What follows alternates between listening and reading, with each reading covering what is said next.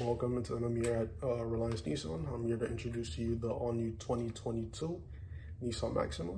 So starting off, we have a gas mileage on this vehicle, which is around 20 in the city, 30 on the highway. So you're looking at a real decent gas mileage for a new vehicle. It also comes with two warranties, a three-year, 36,000 mile warranty, which is for the basics, and a five-year, 60,000 mile warranty, which is for the powertrain. Secondly, we have a safety rating of five stars. So it's one of the safest vehicles out right now.